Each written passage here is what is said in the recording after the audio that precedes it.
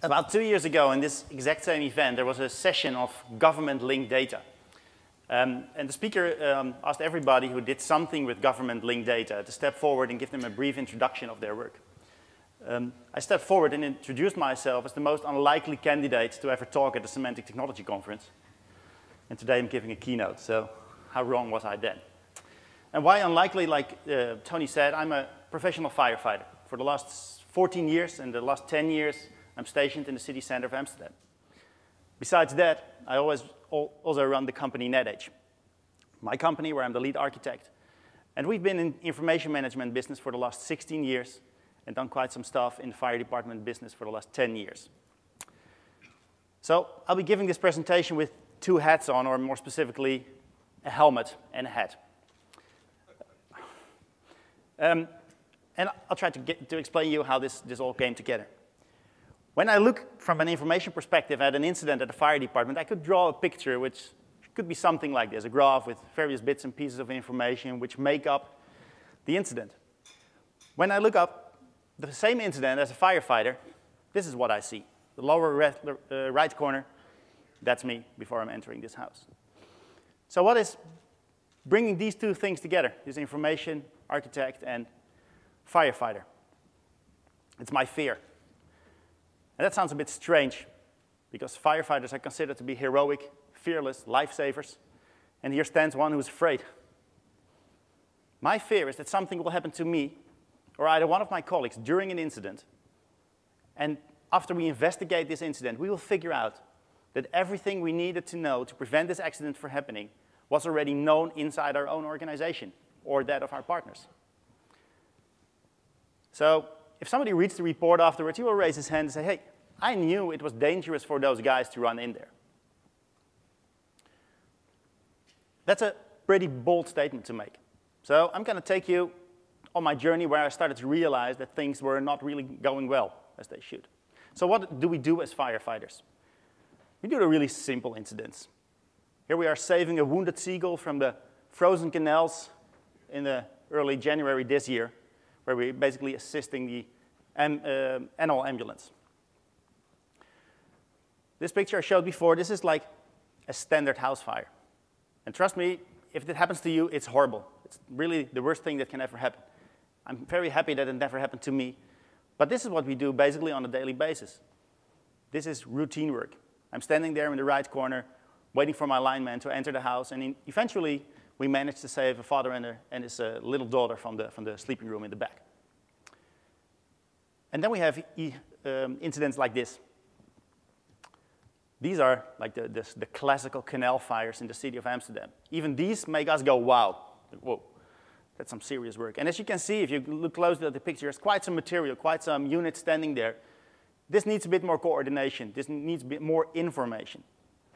And it's a long night work for the guys to do that.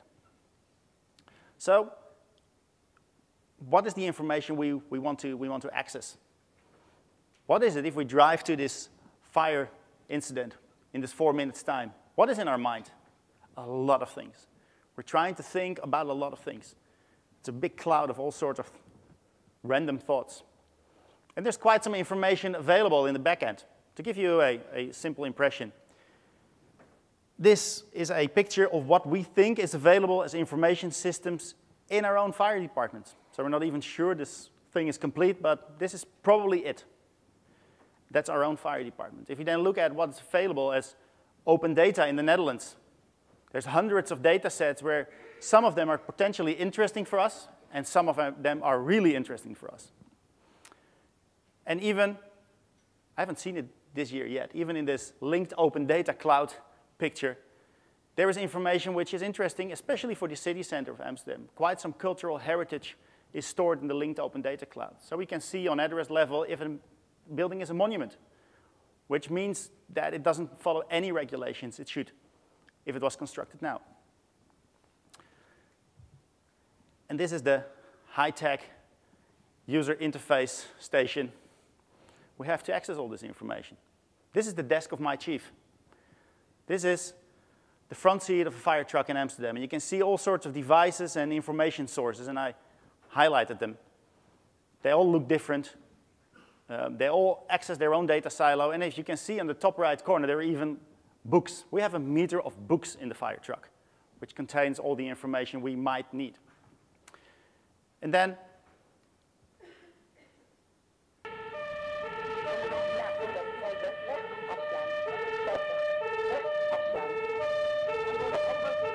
This is the environment we work in with all this information. And trust me, the sound guys wanted, didn't want to put it up to 120 decibels, which it in real time is. But it's really hard to be concentrated. It's really hard to communicate with the dispatch, communicate with your colleagues, and go over all these bumpy roads through the city of Amsterdam. This is the environment we work in. And there was another problem we, we, we discovered while, while going over the information issue. We have a lot of these interfaces which basically don't answer questions we ask. So we get answers to things we didn't ask. And that sounds a bit strange, but I'm going to give you a few examples what I mean with that. We have a navigation system in a fire truck. And essentially, a lot of people think, hey, that's a good idea, navigation system for a fire truck. But as a firefighter, I just want to know where I need to go. I want to know where the incident is. And the only thing this tells me is in the upper right corner, in the upper left corner, you see turn left after 30 meters. So if I come there after 30 meters and I can't turn left, this system just leaves me there. Maybe there's busy traffic, there's a truck unloading, and as a, as a civilian, you would just sit there and wait till the road is free. But for us, the excuse, sorry, traffic was busy, is not really useful. So it leaves us with the choice to Go right, go straight, turn back, and then the navigation system will probably tell us turn around, when possible, turn around. So we, we, we just have to see how we end up in the right place anyway. So we have to guess. In my uh, service area, in the city center of Amsterdam, we have the Anne Frank Museum, just relatively close by. It's a special building, special history, and a lot of tourists go there. Probably if you ever visited Amsterdam, there's a fair chance that you've went there as well. So for these buildings, for these types of buildings, we have execution plans. Um, this is one out of five pages we have, and there is a lot of information on there. A lot of information I don't even care about as first responder when I go there as the first fire truck. But there's one thing that's interesting for me. Because as sobering as it might sound, I'm, I'm mainly concerned of getting home safe the next morning after my shift, and my colleagues to get home safe, and bystanders to be safe. And if in the whole process, we managed to save a life, that's an extra benefit. So what I'm mostly interested in is in the upper right corner, it's all in Dutch, so I didn't bother to, to explode it too much, is the primary hazards. And now comes the interesting part, because there is a little sentence in there which says, zeer complex gebouw, very complex building. And then my chief suddenly thinks, okay, we have a procedure for complex buildings. So he has to make the link to the procedure card. And there are quite some procedure cards you see on the right, whereas again, primary hazards are listed, which reference to other procedure cards. So he has to follow that link again. And actually getting the plan for the Anne Frank house was following a link from an incident message we got. So he's constantly following links. And if we are thinking about following links and combining information, you start to see all sorts of things. In a lot of cities, you see signs like these nowadays. How many places there are free in a park house? If we go to a park house because there's a car on fire, I'm not so much interested in how many places there are free, I'm interested in how many cars there are in the park house. There are permits for park houses, so somewhere digitally we recorded how many places a park house has. So then we have to look it up in the plan, say, okay, 350 places. This park house is empty, only eight cars and one of them is on fire. If the plan says 3,000 cars, then it's packed. Then we have a problem. So why is it that it's my chief who has to make all the links in the calculations where the data is available digitally. Why is it that we can't create a system where we combine these pieces of information and we simply tell the chief, you go to a park house and we have eight cars in there. And then obviously you have to debate if the, the, the, the information you get from the park house is always correct, but it at least gives you an indication. So apart from the, the, the, the plans and the pieces of information we get are not really what we're asking for, we always have to deal with something we call reality. We have to deal with incidents like this. This is the biggest chemical fire to date in the history of the Netherlands. people from the Netherlands who are here, they, definitely know this picture. It was the 4th of January 2011. And there was a movie made afterwards by the fire department to solve this incident. And the first arriving officer on the scene basically explained, by the time I got there, got out of my truck, assessed the situation, I realized that all the plans, all the procedures, and all the scenarios we have ever trained, because the company was known for its hazardous position, could go directly in the trash can.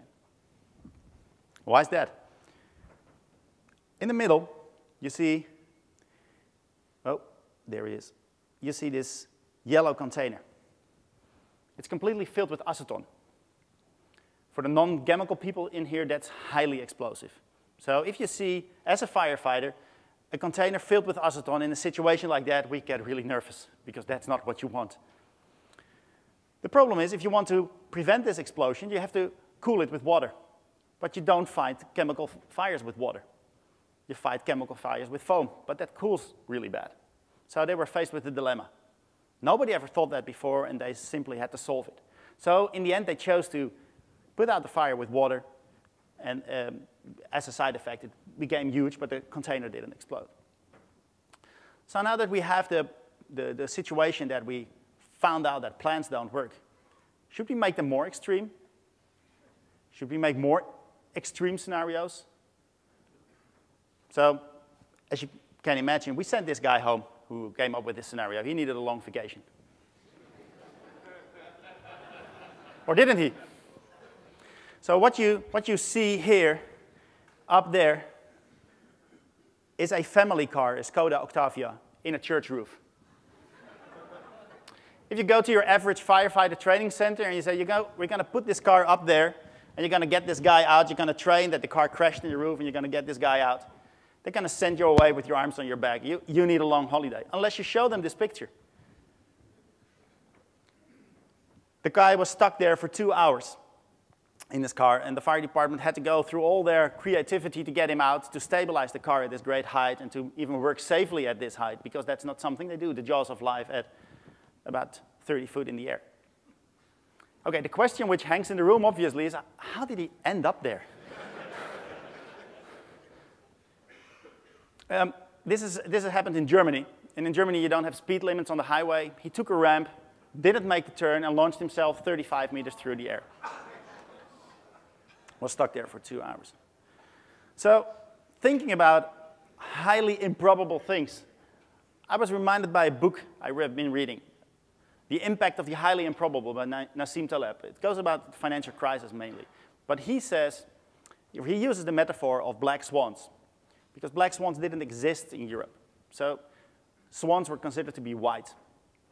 And that was so, people were so sure of that, that even in the language, in Old English, you have an expression that happens sooner than you find the black swan. Until they started sailing the world in Australia and New Zealand, they found black swans. He uses this metaphor to explain highly improbable and unpredictable events. Um, and he, he explains um, the invention of the wheel, World War II, 9-11 and, and, for example, Fukushima, which happened recently. And if you think about Fukushima, there was really a, a chain of unlikely events. And afterwards, suddenly in Europe, all the uh, uh, atomic power plants were controlled for earthquakes, tsunamis, power outages all in one. And first, we never bothered about that. And that made me realize, from all the incidents I've seen in the 14 years, they're small black swans. So my fear is essentially about that we're not able to deal with these small black swan events because the information we use and the information we get is completely out of context. It doesn't really make sense to go to an event and use plans which were created three years ago and assume that everything is still the same. So what should we change? We should change the mindset for this. We should change the way how we deal with information in these kind of operational situations. We won't kill the black swan. It will always be there, and we have to learn to embrace it, to sort of start loving the, the poor animal. And there is no overnight solution. We try to think, at least as firefighters, we think, oh, we put in a new procedure and then our problem is gone. Or we're going to put in new plans or a new piece of software or another gadget in the fire truck. It doesn't work that way. And we have to use something we are pretty good at. We're pretty agile as firefighters. you've seen. They solved the incident in the end. How unlikely the both incidents were, they did solve it. It's not burning anymore, and the guy is, came out of his car. So why not use this same idea in the way we develop systems to support us in this? um, what we should try to do is try to gather information based on the context where we're actually trying to, to solve the incident.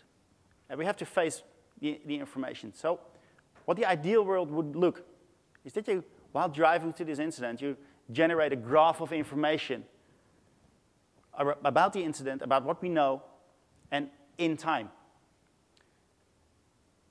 I didn't draw any user interface in this part specifically because it's not about the gadgets. It's about having all this information available and making it link together so that the chief doesn't have to go through all the books. Like I said, be agile. So you have to start small. So I'll take you, oh, I'll take you back one step. What's the original situation we had to get the information to the fire truck? So when somebody calls 911 in the Netherlands, they fill out a, a, in a computer screen and they generate a message and then the system will figure out which fire station or what fire truck needs to go there. This creates a dispatch message, which is then sent to the fire truck. And this is our single entry point of information. It's highly cryptical. You can, you can see, you can extract Anne Frank house from this. After a few years, you understand these messages, but the, this is the only part of the information we got in the fire truck. And then it was up to the chief to take this information and link it all together. Find procedure numbers, find addresses, etc., etc. So what we decided to do is to take this dispatch message and convert it to RDF. And for the same reason Steve explained, because we had no idea what kind of information later on would become needed in the system. And we wanted to do linking. And RDF is all about linked data, so that was the obvious choice to do that. So the first incarnation that basically takes the RDF, the cryptic message, and uses something we called Firebrary, a SKOS vocabulary which ex expands all the small identifiers to readable strings. Um, add some information about location to the incident, and we extract plans and procedures, which we have as RDF, and we add them to the screen as well. So this Firebrary is supposed to be an authoritative set for fire department terms. It's not fully operational for the public yet, but for the fire department we use it, and we're starting to implement more and more of our implicit terminology to make it really explicit terminology. For the plans and procedures, you can see they're all little squares, um, and all these squares have a relation to each other. So it was relatively easy to at least extract RDF literals out of them as a start. It's probably not how you would completely do it as a semantic beautiful solution, but it, at least it worked for us. And then it ended up looking like this. This is a screen we have currently at the fire station.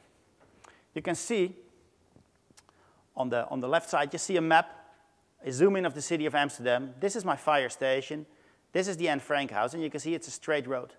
It's 600 meters, 53 seconds on average. Um, and you can see that in this way, the driver is able to, if this big road is blocked, he still is able to take plane A, B, and C out of this one, instead of go straight, and if that doesn't work, he's lost. On the bottom, you see that the whole message is basically extracted, and, and, and the strings are decomposed, or the, the codes are decomposed into full strings. And on the right side, if there is a if there's an execution plan for this um, uh, building, you will find a list of primary hazards. So in this relative tranquility we have at the fire station as the alarm rings and we put on our gear, we can look at this screen. So before we go out in this truck with 120 decibels, we go look at the screen, and then we take all the information with us. This is the situation as now is in the fire station. On the top screen, it's a LED scrolling display. And with these big, big messages for the, the, the, the incidents where we have all these plans and procedures and a lot of fire trucks go there.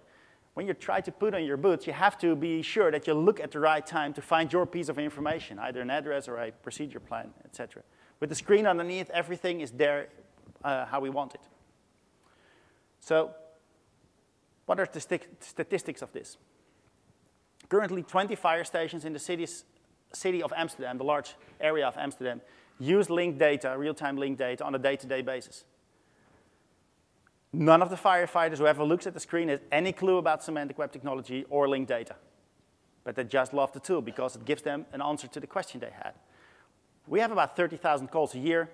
Um, we store about 120,000 resources, so it's relatively small, uh, small solution. And we uh, started using Kasabi to make this public data. Anonymized it, but we made it public. and now I recognize that I forgot to enable the internet connection. Up.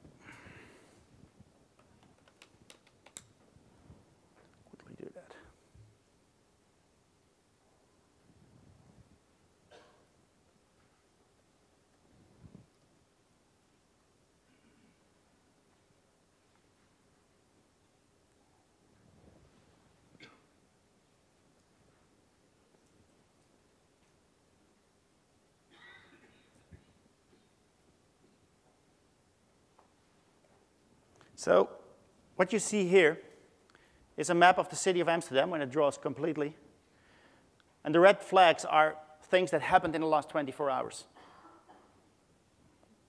So this is something which is happening today in Amsterdam. This is real-time linked open data. If you're ever in Amsterdam and you're in front of a fire station and you see a fire truck drive out, you can find the address and the type of incident it runs to directly in the linked open data cloud.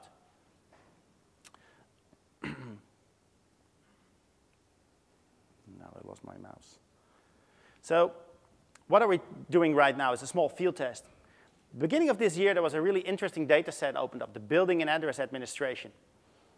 It's a free translation, more or less. It contains all the relationships between dwellings, buildings, and the streets they were in, et cetera, et cetera. And for us, that was really interesting because then you could get a authoritative set of information about um, the buildings we have to go to. And we started to create a little tablet application. What you see here is a zoomed in level of the uh, Anne Frank house. And on the right side, you see a red outline. This outline comes directly from open data. There's nobody in the fire department who's responsible for maintaining this information. We simply import the data, and I've created a RDF front end for it, and we can implement it directly. Another thing which is really interesting for us is usage functions of the building. Every dwelling has a usage function. And for the Anne Frank house, it's a resemblance function. It's a museum. But this system can tell us that in the same building as the Anne Frank house, we find dwellings which have living function, which might sound a bit strange, but Amsterdam has a lot of complex buildings. So if you go in the middle of the night to the Anne Frank Museum and there is an incident there, then it's like, okay, not too many people around, museum is closed, and then it's okay, but we figure out that people could live there, so that could change the way we operate. The same goes for the bottom part where every building has multiple entry points. At least that's possible. So you find out that there is also an entry point at the Westermarkt in this street, where the main address is on this street. We're trying to, to incorporate this more and more, because the interesting thing for us in this is that we have quite some of this information for buildings which need plannings, which need permits. But the larger part of the addresses we go to don't need permits, just simple living areas. So we can use this really well to see a, go, a, quick picture of how a building should look. So what's happening right now is that um, the work in Amsterdam didn't stay unnoticed. Um, the, the, National Fire Department organization in the Netherlands decided that the, this firebrary we created is really useful to create a standardized terminology at, at a certain point. So we're currently working with that to, to see if we can make this a big, big project.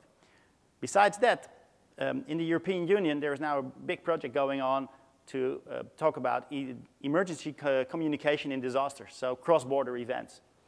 And for the people who follow the SKOS tutorial or some of the SKOS sessions, you see that SKOS is really brilliant to do multilingual um, um, labels for, for, for incident types. So we're going to use the Firebrary as well to go across the border so that we can explain to our colleagues across the border what we are actually doing because we speak different languages across the border in Europe most of the time.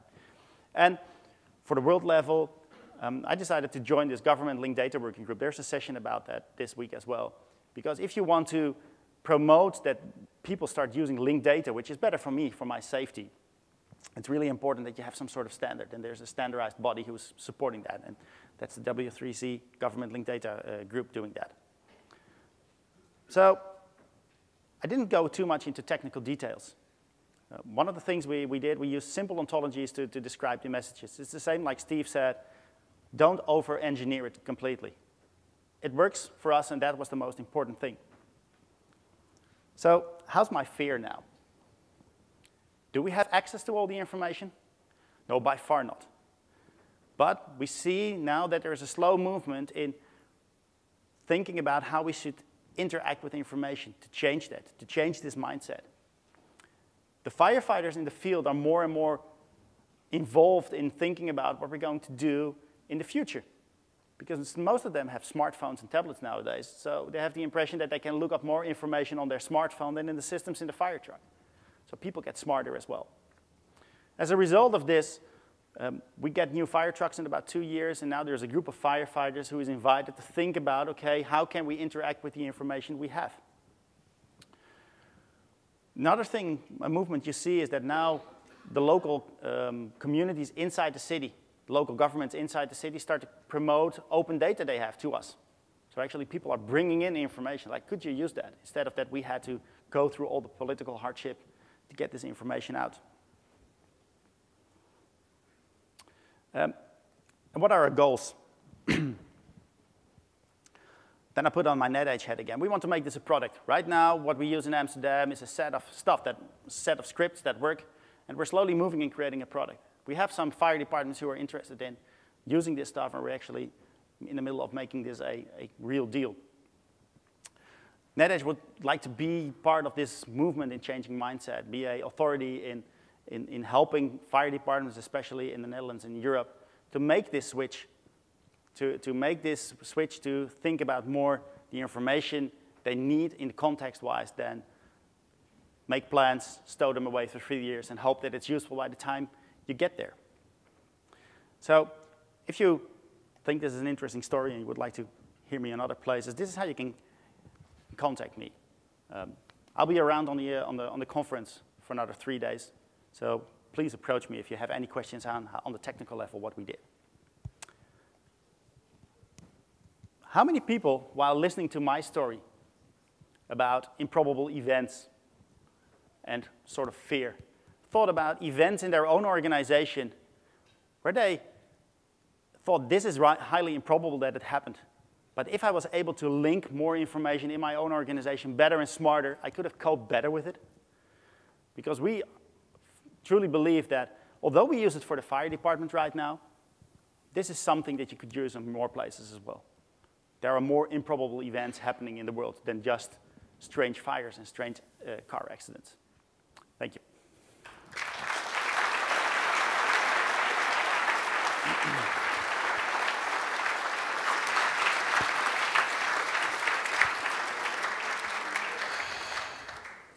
But great presentation and great job. Thank you. Thank you.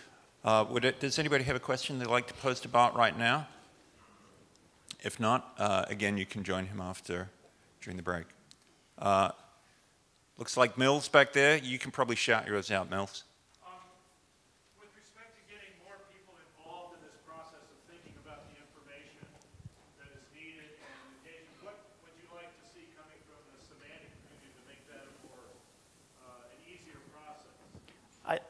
I liked the, um, uh, an easier process? I I liked the the lightning talk yesterday about uh, linking or, or non-profit organizations should doing linked data.